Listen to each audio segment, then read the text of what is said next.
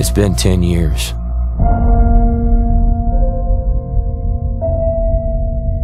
You start to forget the things you should remember. And you can't stop remembering the things you should forget.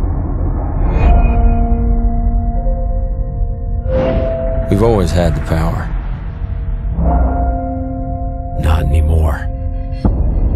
All we have is each other. We're ghosts, fighting for something